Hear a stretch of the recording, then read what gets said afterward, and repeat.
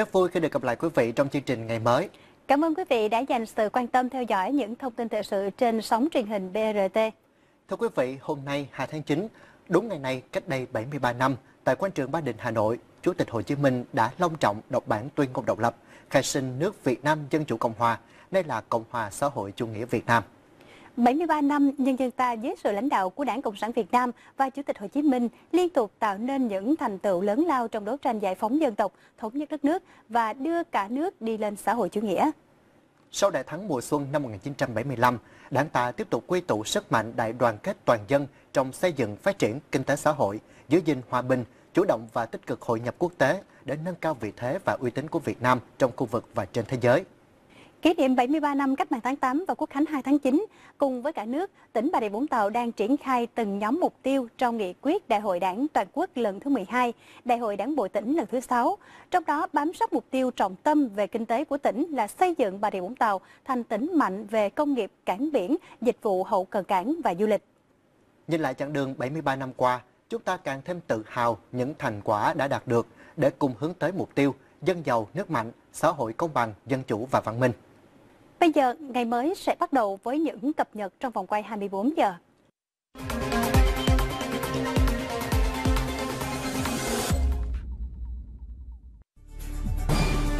Thủ tướng Chính phủ yêu cầu tiếp thu chỉnh sửa dự án luật đặc xá. Cục báo chí lập đường dây nóng nhận tin giả mạo nhà báo.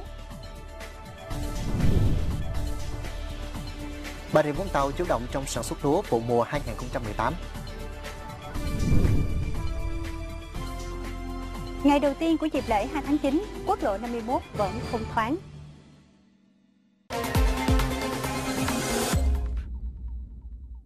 Mở đầu vòng quay 24 giờ là những thông tin về chủ trương chính sách mới.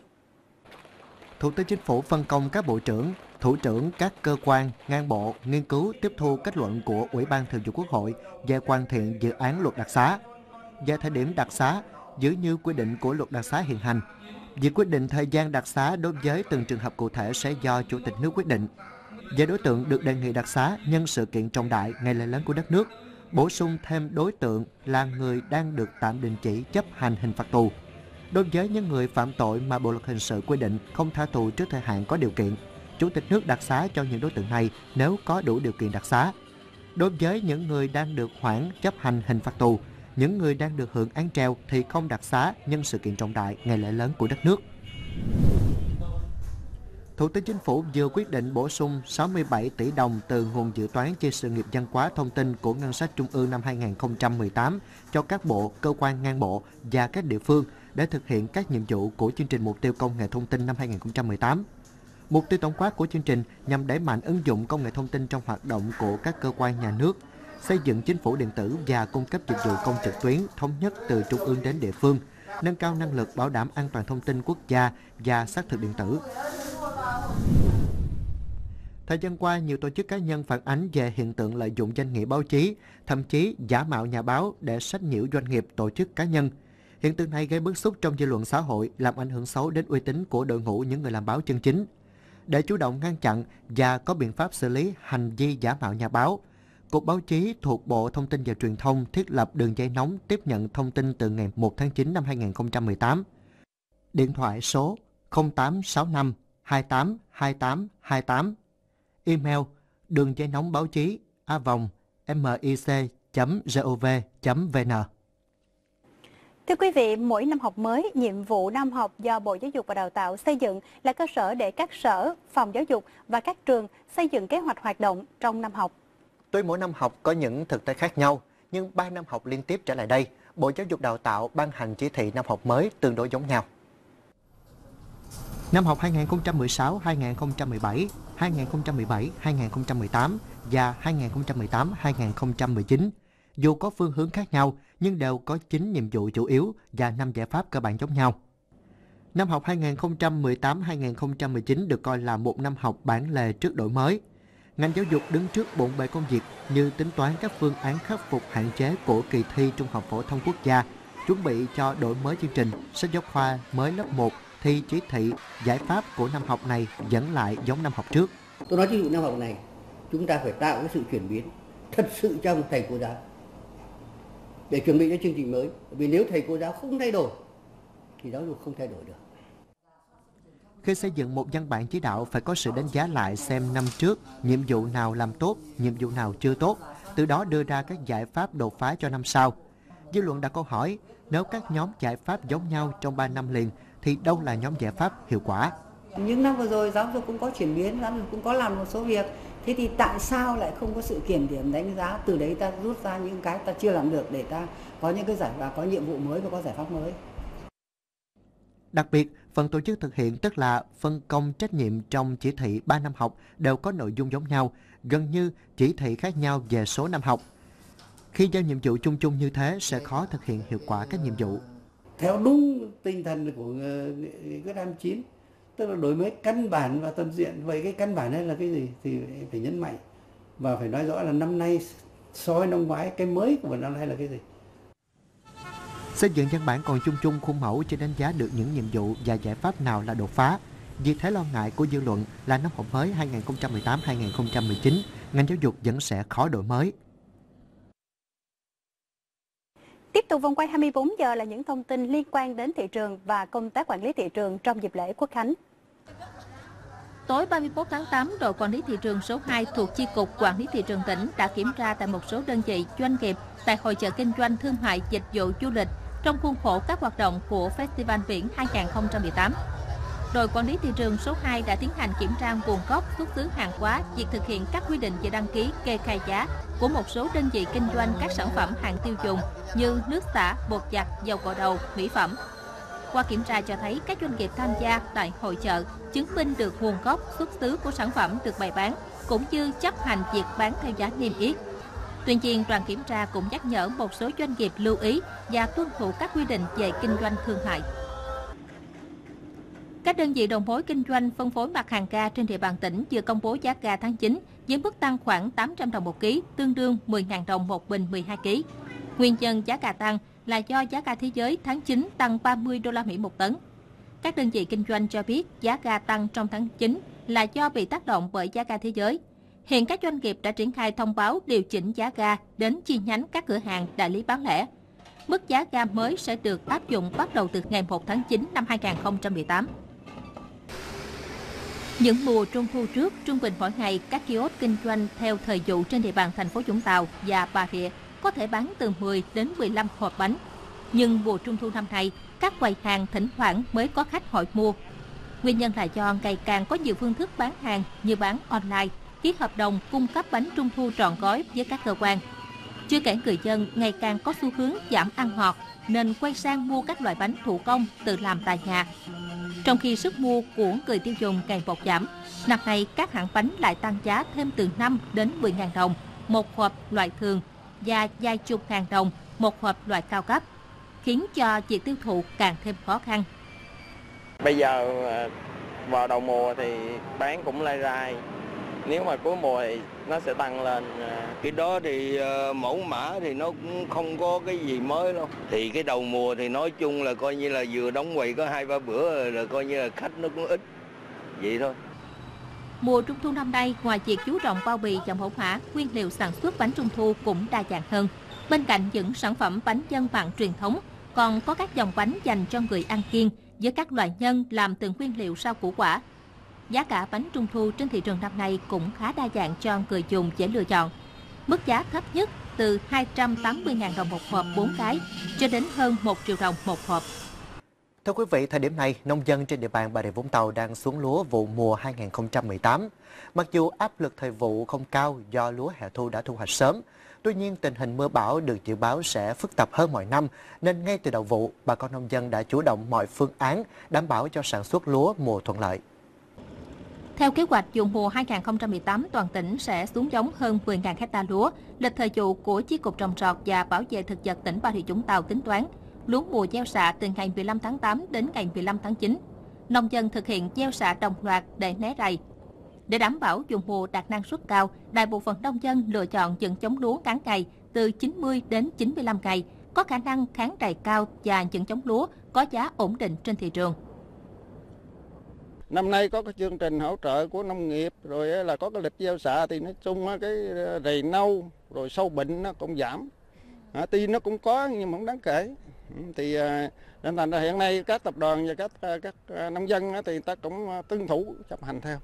Năm nay so vụ mùa năm 2018 này là sản xuất vụ mùa thấy nó đạt hơn mấy năm à, vừa rồi là nhờ thuận trời nắng nhiều không có mưa thành ra sản lăng dài năm nay là đạt khoảng trăm trăm. Thời tiết đang thuận lợi cho sản xuất lúa mùa, nguồn nước dồi dào, nên trùng mùa đã hoàn tất trên 70% diện tích gieo xạ.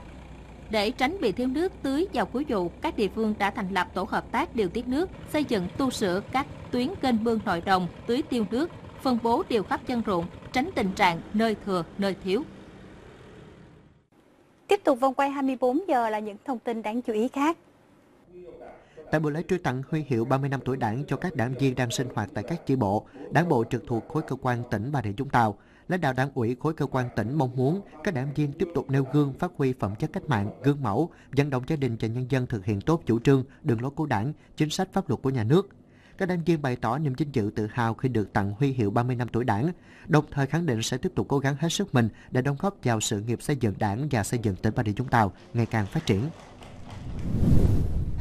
Từ đầu năm 2018 đến nay, các cấp hội trong toàn tỉnh đã vận động tặng gần 24.000 xuất quà cho người nghèo, người khuyết tật, nạn nhân chất độc da cam trong và ngoài tỉnh, tặng 71 chiếc xe lăn cho người khuyết tật nghèo, xây 6 căn nhà chữ thập đỏ, duy trì giúp đỡ 453 địa chỉ nhân đạo với số tiền hơn 1 tỷ đồng, mua và cấp hơn 1.200 thẻ bảo hiểm y tế cho người hiến máu tình nguyện, từ nay đến cuối năm 2018, Hội chữ thập đỏ tỉnh tiếp tục thực hiện các chương trình, cuộc vận động ngân hàng bò, xây dựng nhà chữ thập đỏ cho người nghèo, kiện toàn các trạm, điểm sơ cấp cứu chữ thập đỏ, vận động các nguồn lực thực hiện tốt công tác trợ giúp nhân đạo do thiên tai gây ra, phấn đấu hoàn thành chỉ tiêu năm 2018, vận động được 15.000 đơn vị máu.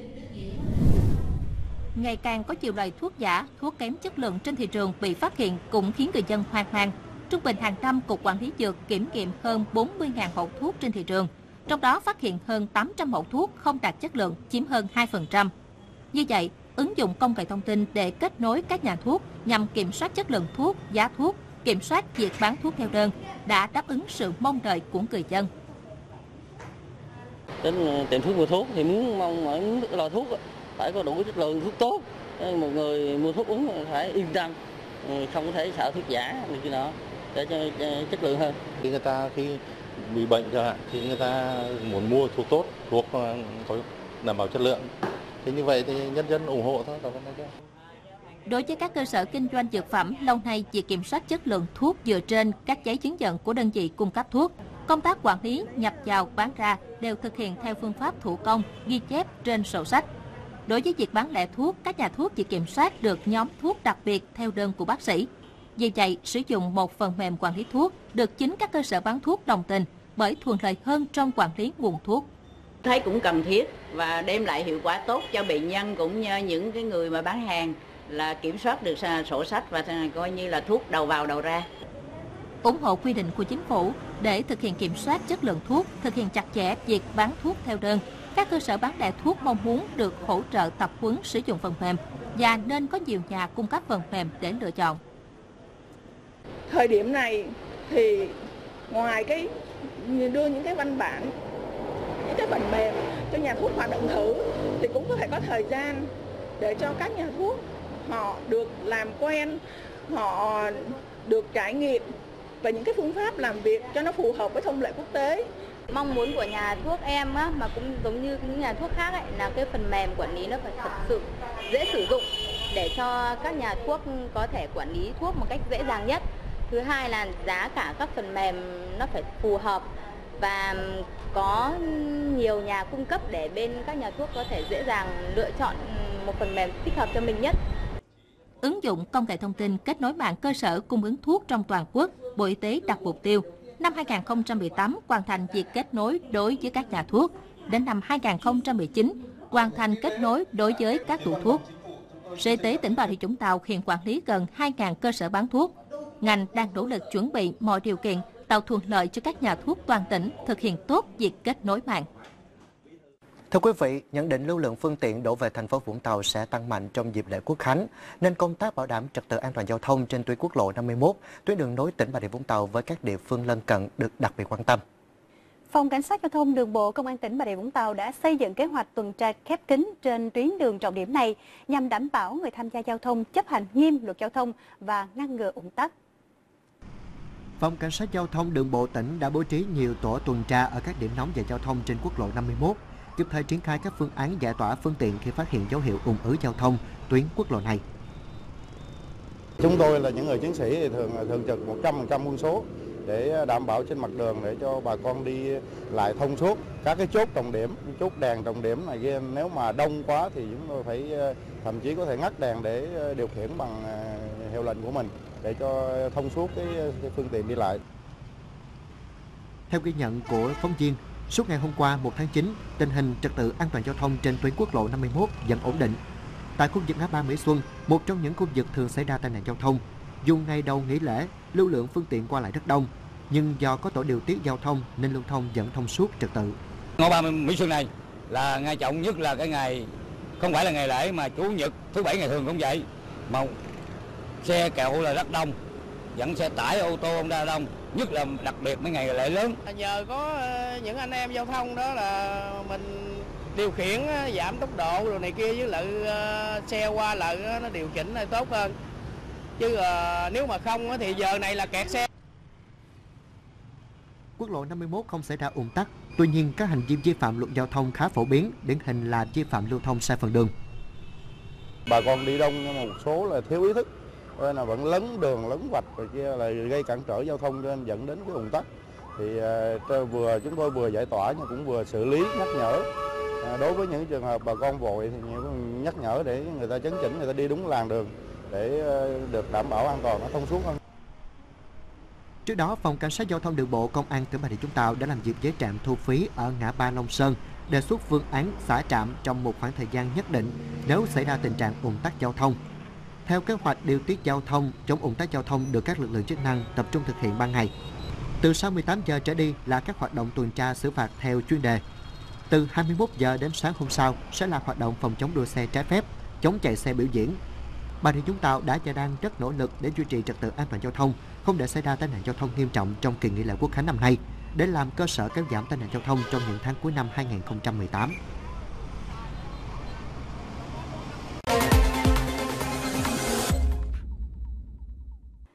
Vị, có câu hạnh phúc là sẻ chia và được sẻ chia thì hạnh phúc sẽ nhân lên gấp bội. Hẳn là Nhật Trường cũng đã nghe câu này đúng không? Ừ, tất nhiên rồi. Và không chỉ là nghe thôi đâu mà tôi cũng đã từng trải nghiệm qua điều này rồi. Và tôi tin là ai cũng có thể cảm nhận cái điều hạnh phúc sẻ chia đó. Ví dụ như là đơn giản thôi, à, chúng ta cùng sẻ chia cho nhau thức ăn, nước uống ừ. thì chắc chắn là sẽ có rất là nhiều tiếng cười rộn rã. thì là chí lý và Hoàng Nga sẽ nhớ câu này à, có thể là Nhật Trường sẽ sẽ chia cho Hoàng Nga một bữa ăn sáng hoặc là một ly cà phê được không? Chắc chắn rồi và chắc chắn là sau đó sẽ có rất là nhiều điều thú vị đúng không? Thưa quý vị nhưng mà tôi thì đang muốn nói đến những chia sẻ có ý nghĩa hơn rất là nhiều. À, câu chuyện về ai thế nào vì sao hôm nay sẽ chuyển đến quý vị những tấm lòng sẻ chia như thế. Hơn 4 năm nay, mái ấm tình thương thuộc giáo xứ Vinh Châu, xã Bình Chả, huyện Châu Đức không chỉ là ngôi nhà chung của 20 cụ già neo đơn, khuyết tật, mà còn là ngôi nhà thứ hai của vợ chồng bà Trần Thị Tố Như và ông Đinh Văn Tuấn, ngụ tại ấp Ghi Lộc, xã Bình Giả. Trong một chuyến hoạt động bác ái do giáo sứ địa phương tổ chức, bà Tố Như được phân công nấu cơm cho các cụ già neo đơn tại đây. Cơ duyên này khiến bà Tố Như gắn bó với mái ấm đến tận bây giờ. Không chỉ vậy, bà Như còn vận động chồng mình tham gia hoạt động bác ái. Tranh thủ việc chăm sóc vườn tiêu của gia đình, bà tú Như nhận trách nhiệm phục vụ nhà bếp, chăm sóc các cụ tại mái ấm tình thương giáo xứ Vinh Châu hàng ngày. Còn ông Tuấn, sau buổi bốc xếp hàng ở các chợ, ông cùng vợ làm một số công việc phục vụ mái ấm. Tất cả mọi việc phục vụ cho mái ấm tình thương với ông bà đều hoàn toàn tự nguyện. Đó, mình làm theo lối là cái tâm của mình vậy thôi với lại công an của cái vấn đề là giúp cho các ông bà vậy thôi của nhà vậy thôi. Tham gia mình làm cái việc này giống như cái một cái niềm vui vậy thôi. Cái mình mình thấy nhiều cũng có nhiều ông bà cũng rất là tội nghiệp. Thế là tôi làm ở đây tôi thấy bình an. Trong người mình thấy bình an mình không phải là bon chen lo lắng gì hết nó mệt. Cuộc sống với các cụ già nơi mái ấm tình thương vốn bình lặng, tẻ nhạt vì chỉ có những người già đơn thân sống cùng nhau từ khi có vợ chồng bà Như, ông Tuấn, mỗi ngày mái ấm thêm vui và ấm áp hơn, tình người như gắn kết hơn. Tôi thấy anh Tuấn với chị Như chăm sóc tốt tất cả bao nhiêu người trong này. Ai cũng đều như ai hết. Chứ không có có gì là trở ngại hết. Rất vui mừng, rất sung sức. Thì tôi thấy được an ủi cái tuổi già của mình còn lại. Ở đây mấy ấm ờ, tình thương là có anh Tuấn với chị Như là chăm sóc tốt, phục vụ tốt cho anh, anh chị em. Đó bao việc là tắm rửa rồi cho ăn uống. Rồi anh chị em cũng rất vui mừng phấn khởi. Niềm vui hạnh phúc sẽ chia quả là được nhân lên gấp bội. Bởi đó không còn là niềm vui đơn lẻ trong mỗi người mà đã tạo nên sự gắn kết để cả người sẽ chia và được sẽ chia đều thấy lòng ấm áp đều được nhận yêu thương Mời quý vị tiếp tục cập nhật những vấn đề sự kiện mà cư dân mạng đang quan tâm.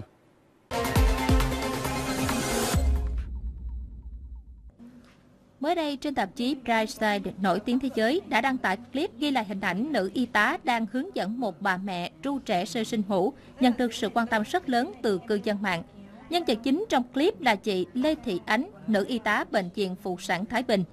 Trong clip theo hướng dẫn của y tá, các bà mẹ sau khi loại trừ nguyên nhân trẻ quấy khóc do đói đi vệ sinh có thể sử dụng cách quấn ổ giúp bé dễ ngủ hơn.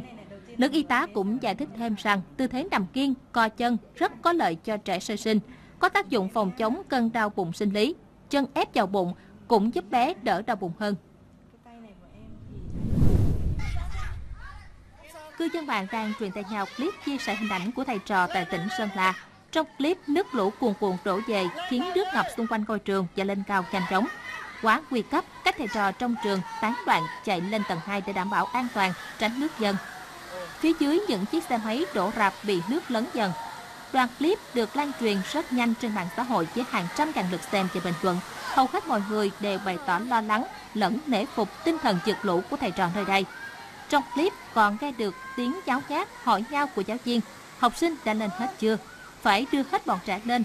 Bằng hồi giá không để bọn trẻ bị kẹt lại. Nhanh hơn nữa. Bây giờ thì biết làm sao được Bên cạnh thông tin về tình hình mưa lũ, thiên tai của đồng bào các tỉnh miền Bắc thu hút dư luận quan tâm, thì những hình ảnh cổ động đội tuyển U23 Việt Nam trước và sau trận đấu với các tuyển thủ U23, các tiểu dương quốc Ả Rập Thống Nhất cũng được cộng đồng mạng quan tâm nhiều nhất khiến như hình ảnh các cổ động viên cuồng nhiệt đầy đây. Tại một trường mầm non, cả cô và trò cùng nhuộm đỏ lớp học để ủng hộ đội tuyển Olympic Việt Nam.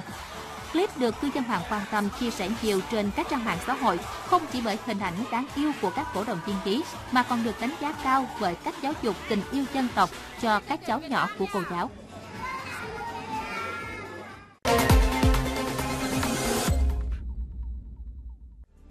Walmart đầu tư mạnh vào thị trường đồ chơi. EU cân nhắc dừng việc chuyển đổi giờ theo mùa.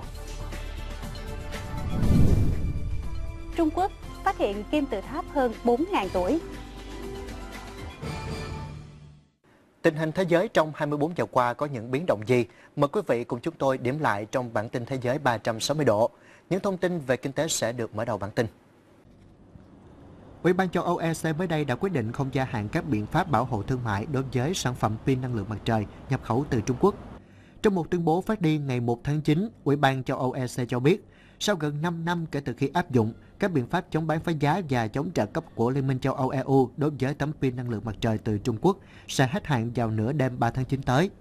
Quyết định trên đã tính đến nhu cầu của cả nhà sản xuất và người sử dụng hoặc nhập khẩu pin năng lượng mặt trời, cũng như các mục tiêu mới về năng lượng tái tạo của EU. Tuyên bố nhấn mạnh rằng việc dỡ bỏ các biện pháp bảo hộ trên phục vụ lợi ích tốt nhất của toàn EU. Trong 6 tháng đầu năm nay, Ai Cập đã đón khoảng 5 triệu lượt khách du lịch, với doanh thu đạt khoảng 5 tỷ đô la Mỹ, tức tăng gần 80% so với cùng kỳ năm trước.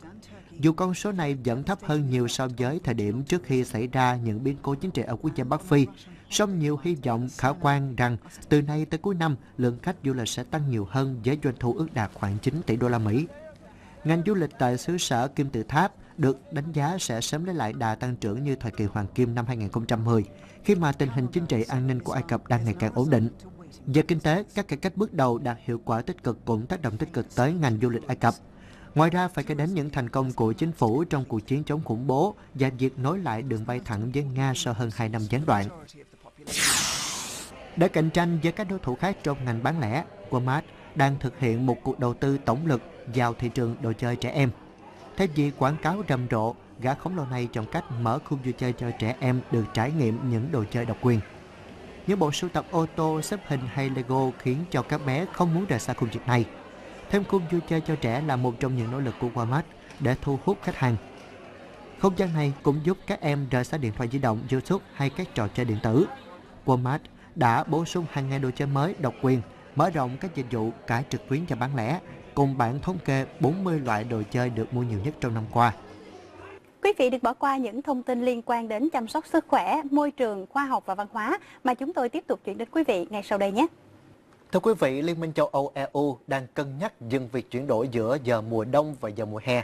Một cuộc khảo sát gần đây cho thấy 80% công dân EU muốn hủy bỏ thông lệ chuyển đổi giờ theo mùa của EU và ủng hộ giữ giờ mùa hè cho cả năm. Hiện tại Liên minh châu Âu EU đã ra quy định rằng công dân tại tất cả 28 nước thành viên phải điều chỉnh đồng hồ tăng thêm 1 giờ vào ngày Chủ nhật cuối cùng của tháng 3, sau đó sẽ quay trở về giờ mùa đông vào ngày Chủ nhật cuối cùng của tháng 10. Tuy nhiên, các nhà nghiên cứu chỉ ra rằng sự thay đổi giờ này gây rối loạn thời gian ngủ và có thể ảnh hưởng tới hiệu quả làm việc. Trong khi đó, những người ủng hộ việc chuyển đổi giờ theo mùa lại cho rằng việc chuyển đổi này nhằm đem lại thêm ánh sáng ban ngày vào buổi sáng trong mùa đông và ánh sáng buổi tối trong mùa hè có thể giúp giảm tai nạn giao thông và tiết kiệm năng lượng. Cơ quan Tài nguyên Thiên nhiên Mỹ mỗi năm thả hàng triệu con cá xuống hơn 200 hồ trên núi tại bang Utah để duy trì đa dạng sinh học. Hoạt động thả cá vào hồ trên núi diễn ra liên tục từ năm 1956. Hôm qua, hơn 200 hộ được tiếp cá mỗi năm tại bang Utah. Phi công bay cao hơn ngọn cây một chút, độ cao được tính toán để tăng khả năng sống sót của cá được thả. Mỗi chuyến bay có thể thả ra 35.000 con cá. Các nhà khảo cổ vừa phát hiện một kim tự tháp khổng lồ tại thành phố cổ 4.300 năm tuổi ở tỉnh Thiểm Tây, Trung Quốc. Đây từng là nơi diễn ra các nghi lễ hiến tế người và từng là khu định cư lớn nhất thế giới. Các nhà khoa học rất ngạc nhiên khi phát hiện một kim tự tháp đồ sộ trong thành phố cổ đại ở Trung Quốc với niên đại 4.300 năm tuổi. Kim tự tháp có dạng bậc thang với 11 bậc cao ít nhất khoảng 70 mét với phần đáy trải rộng tới 24 hecta. Kim tự tháp được trang trí bằng các biểu tượng con mắt và khuôn mặt của người nửa thú được cho là để mang tới sức mạnh tâm linh đặc biệt, đồng thời cũng có thêm ấn tượng và thị giác cho đám đông. Kim tự tháp này nằm trong khu phố cổ có tên là Simao, nhưng tên gọi của nó trong thời cổ đại thì vẫn chưa ai hay biết. Mới đây, lễ hội khinh khí cầu quốc gia Séc đã diễn ra tại làng cổ Stamesto thuộc vùng Bratislava của nước này. Lễ hội năm nay quy tụ hàng trăm khinh khí cầu và người chơi từ khắp nơi trên thế giới. Lễ hội thường niên năm nay tại Séc thu hút khoảng 20 đội quốc tế tham dự để tranh giải vô địch đua khinh khí cầu. Tại lễ hội, các đội thi đấu trong nhiều hạng mục, trong đó mục tiêu chính là bay tới đúng các điểm đích được định sẵn. Đội nào giành được nhiều điểm nhất, đội đó sẽ giành chiến thắng. Giải đấu năm nay có 23 chặng đua và những người chơi sẽ phải thu được điểm số cao nhất có thể để giành chức vô địch. Tôi rất vui mỗi khi được bay trên khinh khí cầu như thế này. Lễ hội khinh khí cầu quốc tế tại Séc là sự kiện thu hút số lượng lớn du khách ở khắp nơi đổ về trong bầu không khí tưng bừng nhộn nhịp và đầy màu sắc. Trở lại với thông tin ngày mới là những tiêu điểm được các trang báo đề cập hôm nay.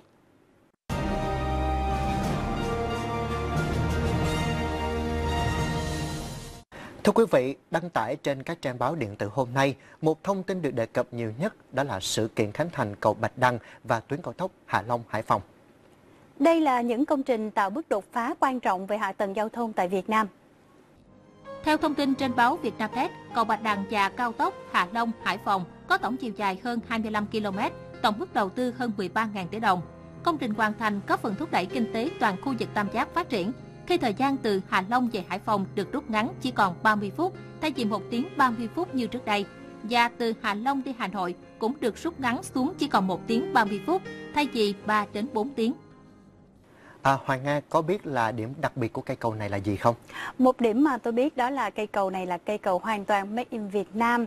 À, toàn bộ thiết kế thi công công trình đều do các kỹ sư của Việt Nam thực hiện. Ừ, đúng rồi.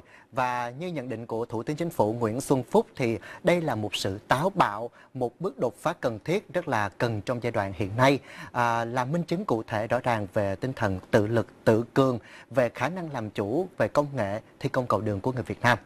Và với sự ra đời của cầu Bạch Đằng, cao tốc Hạ Long Hải Phòng, chúng ta hoàn toàn tin tưởng trong thời gian tới sẽ có nhiều tuyến giao thông quan trọng mang thương hiệu Made in Việt Nam. Tiêu điểm báo chí sáng nay tiếp tục cập nhật những thông tin về tình hình mưa lũ tại các tỉnh miền Bắc được đăng tải trên các trang báo.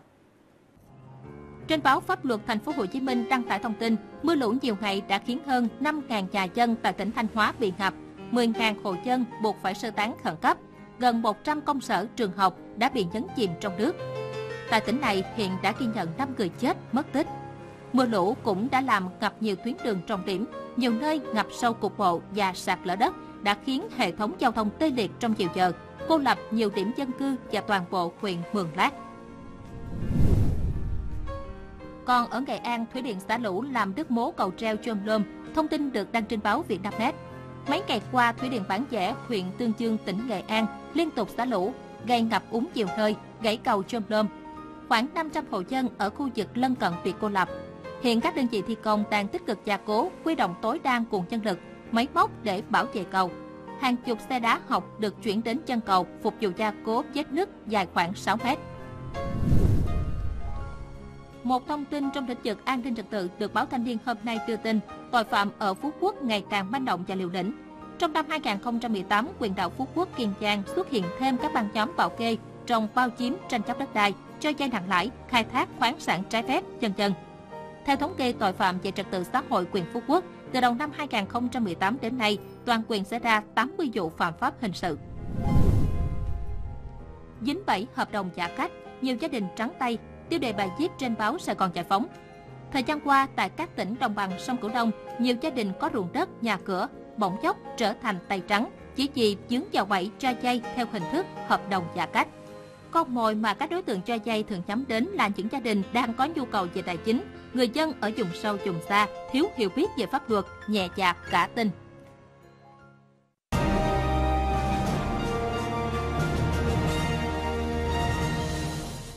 Thưa quý vị, hơn 10 năm trước, nhằm thu hút người có trình độ về làm việc tại các xã phường thị trấn, Ủy ban nhân dân tỉnh Bà Rịa Vũng Tàu ban hành quyết định số 2815/2006 hỗ trợ cán bộ không chuyên trách cấp xã, phường thị trấn từ 0,8 đến 1,6% mức lương cơ sở một người một tháng. Như vậy là cộng với phụ cấp chung là 1,86 mức lương cơ sở thì mỗi cán bộ không chuyên trách cấp xã, phường thị trấn tại tỉnh Bà Rịa Vũng Tàu thu nhập mà mỗi tháng từ 3,5 đến 4,5 triệu đồng một người một tháng. Tuy nhiên, theo kiến nghị của Kiểm toán Nhà nước, từ tháng 1 năm 2018, tỉnh Bà Rịa Vũng Tàu đã bỏ chế độ hỗ trợ khuyến khích người có bằng cấp cao đẳng, đại học về cơ sở, dẫn đến mức thu nhập của cán bộ không chuyên trách cấp xã phường thị trấn giảm đi gần một nửa. Và vì thu nhập thấp mà từ đầu năm đến nay, trên địa bàn tỉnh đã có gần 150 cán bộ và một số chức danh cấp xã phường thị trấn xin nghỉ việc. Khắc phục tình trạng cán bộ không chuyên trách nghỉ việc, Ủy ban nhân dân tỉnh đã tổ chức nhiều cuộc họp với các sở ngành liên quan tìm giải pháp hỗ trợ đội ngũ cán bộ không chuyên trách cơ sở. Sở Nội vụ cũng đã phối hợp cùng các sở ngành liên quan xây dựng đề án chế độ chính sách cho những người hoạt động không chuyên trách và một số chức danh cấp xã phường thị trấn. Và giải pháp nào để giữ chân cán bộ không chuyên trách cơ sở? Có cứ ngày mới hôm nay, chúng ta cùng gặp ông Trương Văn Đức, Phó Giám đốc Sở Nội vụ tỉnh Bà Rịa Vũng Tàu để biết thêm thông tin về vấn đề này. Xin chào ông, cảm ơn ông đã dành thời gian cho buổi phỏng vấn ngày hôm nay. Thưa ông thì thời gian qua thì có một bộ phận cán bộ không chuyên trách cấp xã xin nghỉ việc mà với lý do là à, chế độ đại ngộ thấp thì à, là cơ quan chịu trách nhiệm trong việc tổ chức chính quyền nhân dân thì ông nhìn nhận về vấn đề này như thế nào ạ? Vừa qua, kiểm toán nhà nước cũng có kiến nghị Ủy ban tỉnh Bà Rịa Vũng Tàu hủy bỏ cái trợ cấp khuyến khích. Từ ngày à, bỏ cái trợ cấp khuyến khích thì thu nhập của những người hoạt động không chuyên trách nó nó thấp xuống. Thì từ đó thì nó dẫn đến tình trạng là Ờ, nghỉ việc cán bộ công chức và những người không chuyên trách ở cấp xã nghỉ việc nhiều. Cái lý do nghỉ việc đó là do cái là do cái thu nhập thấp. Và sau khi nghỉ việc thì uh, hầu hết đó là ra ngoài doanh nghiệp ừ, để uh, tìm việc mới để có thu nhập cao hơn. À, có thể thấy rằng việc đột ngột cắt giảm chế độ khuyến khích à, cho người cán bộ không chuyên trách cấp xã à, đã gây ra nhiều hệ lụy phải không thưa ông? Từ khi cắt giảm ờ, cái trợ cấp khuyến khích cho ờ, cán bộ công chức và những người hoạt động không chuyên trách cấp xã thì xảy ra cái tình trạng là nghỉ việc nhiều. Thì ờ, từ cái chỗ nghỉ việc đó thì ở chính quyền cấp xã là thiếu hụt cán bộ và trong khi cái việc tuyển dụng cán, cán bộ mới không không kịp thời không đáp ứng được cái yêu cầu thực tế công việc hiện tại. Cho nên nó ảnh hưởng đến chất lượng hoạt động của chính quyền ở cơ sở. À, thưa ông thì để tạo động lực gắn bó cho đội ngũ cán bộ không chuyên trách cấp xã nói riêng và cán bộ cấp xã nói chung thì thời gian tới Bà Rịa Vũng Tàu sẽ triển khai những cái giải pháp như thế nào thưa ông? Để giúp cho đội ngũ những người hoạt động không chuyên trách cấp xã thì an tâm công tác, gắn bó với công việc thì các cấp lãnh đạo cũng hết sức là quan tâm chỉ ờ, đạo cho sở nội vụ phối hợp với sở tài chính để tham mưu cho ủy ban nhân dân tỉnh cũng như tỉnh ủy đề ra một số giải pháp. Cụ thể như sau. Thứ nhất là điều chỉnh cái hệ số phụ cấp. Ừ. Ờ, theo cái bằng ờ, trung theo cái bằng theo bằng chuyên môn. Thì cao đẳng thì có từ cái mức 1,86 lên mức là 2,10 so với mức lương cơ sở người có trình độ đại học á, thì từ 1,86 lên 2,34 so với mức lương cơ sở. Cái giải pháp thứ hai thì ờ, nghiên cứu điều chỉnh ờ, tăng thêm cái cái mức khoán của ờ, cán bộ công chức và những người không chuyên trách ở cấp xã.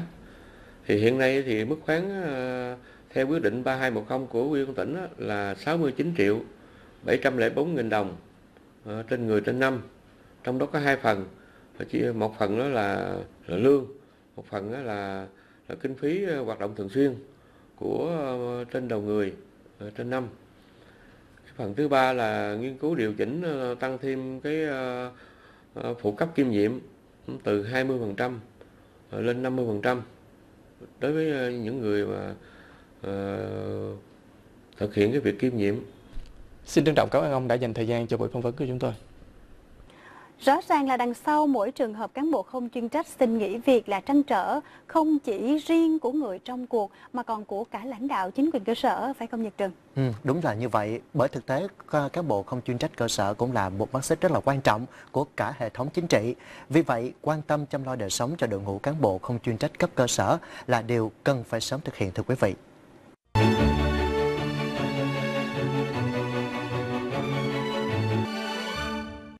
Quý vị, trong kỳ nghỉ lễ Quốc Khánh thì nhiều gia đình có dịp quây quần bên nhau, cùng vui, cùng chơi và cùng thưởng thức nhiều món ngon. Mà ở vùng biển như là Bà Rịa Vũng Tàu á, thì một trong những món ngon bổ dưỡng hơn cả đó chính là hải sản phải không Hoàng Nga? Đúng vậy, làm thế nào để nhận biết được hải sản sạch ạ? À? Thông tin chia sẻ sau đây chắc chắn sẽ rất hữu ích với quý vị. Khi chọn mua cá biển, hãy quan sát mang cá. Nếu cá còn tươi thì mang cá có màu đỏ tươi, không có mùi, không nhớt. Tiếp theo là mắt cá phải trong, không bị lòi ra ngoài. Nên chọn các loại cá còn nhớt.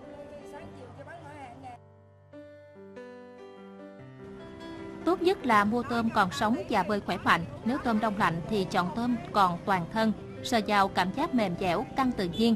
Các bộ phận dính chặt vào nhau, các chân vẫn còn nguyên. Không nên chọn tôm có mùi tanh.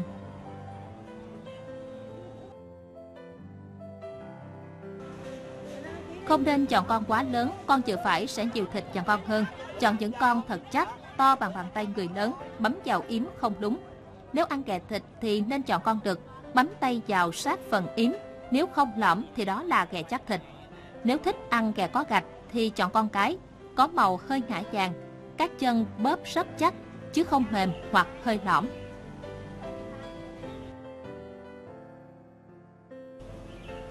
Dây ốc thì nên chọn những loại còn đang bò, khi chạm tay mới khép miệng lại. Đối với các loài sò nên gửi nếu chúng không có mùi hôi là được, và nếu sò chết sẽ có mùi hôi.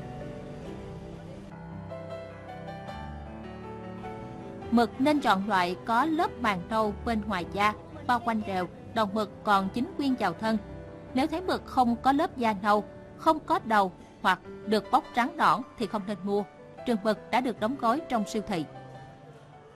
Thưa quý vị, để tránh mua phải hải sản ngâm hóa chất, khi chọn thì quý vị nên kiểm tra thật là kỹ, nên mua đồ còn sống hoặc là đã được đông lạnh tại các cửa hàng uy tín và không nên là ham hải sản rẻ vì loại hải sản này thường hay bị ướp hóa chất. Áp dụng những kỹ năng mà chúng tôi vừa chia sẻ thì quý vị cũng nên chia sẻ với bạn bè và người thân nữa nhé. Và chúc quý vị sẽ có một kỳ nghỉ lễ thật là vui tươi và an toàn.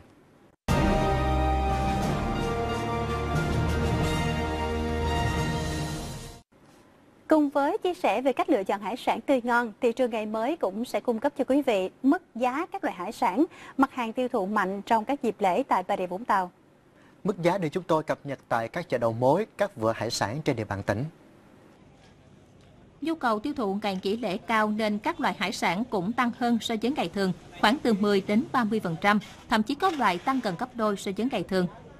Tôm sú loại 1 360.000 đồng một ký, loại 2 320.000 đồng một ký. Mực ống giá 320.000 đồng đến 360.000 đồng một ký. Bạch tuộc có giá từ 180 đến 220.000 đồng một ký. Ốc hương loại 1 360.000 đồng, loại 2 từ 260 đến 320.000 đồng một ký. Cá bớp, cá chướng nguyên con 220 đến 280.000 đồng một ký. Gà loại 1 từ 5 con một ký có giá 550.000 đồng một ký, tăng gấp đôi so với ngày thường.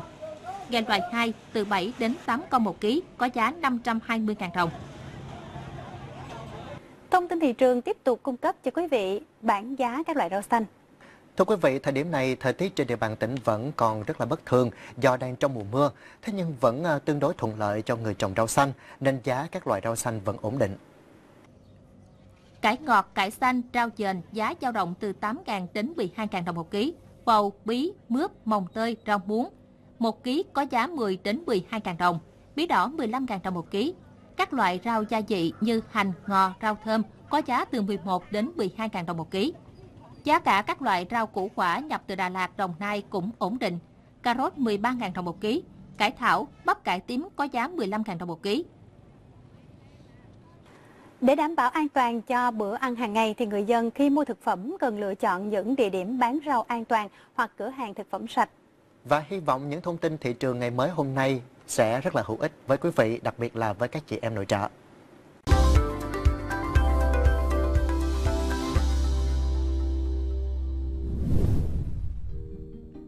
Dự báo thời tiết tỉnh Bà Rịa Vũng Tàu ngày 2 tháng 9. Hôm nay, khu vực tỉnh vẫn tiếp tục duy trì kiểu thời tiết nắng nhiều, nền nhiệt cũng tăng nhẹ nên một số nơi xuất hiện cảm giác oi bức. Nhiệt độ cao nhất từ 31 đến 33 độ, nhiệt độ thấp nhất từ 26 đến 28 độ. Mưa thường xuất hiện vào thời điểm chiều tối và đêm. Trong cơn dông có khả năng xảy ra hiện tượng gió giật mạnh. Theo đài khí tượng thủy văn tỉnh, mưa dông có xu hướng quay trở lại từ 3 đến 4 ngày tới đây.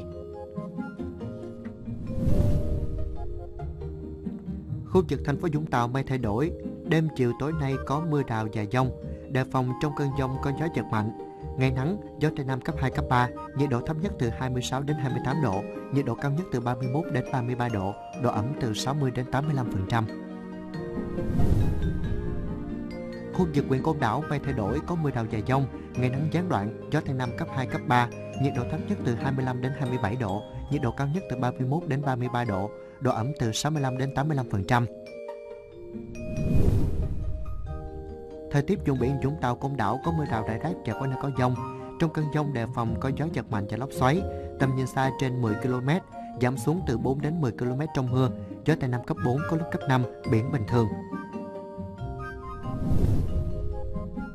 Tại Vũng Tàu ngày 2 tháng 9 năm 2018, mực nước cao nhất 350 cm xuất hiện lúc 6 giờ 30 phút, thấp nhất 140 cm xuất hiện lúc 0 giờ 30 phút. Những thông tin dự báo thời tiết đã khép lại chương trình Thời sự ngày mới. Hy vọng chương trình đã đem lại cho quý vị những thông tin hữu ích. Cảm ơn quý vị đã quan tâm theo dõi. Chúc quý vị có một kỳ nghỉ lễ thật nhiều niềm vui và hạnh phúc.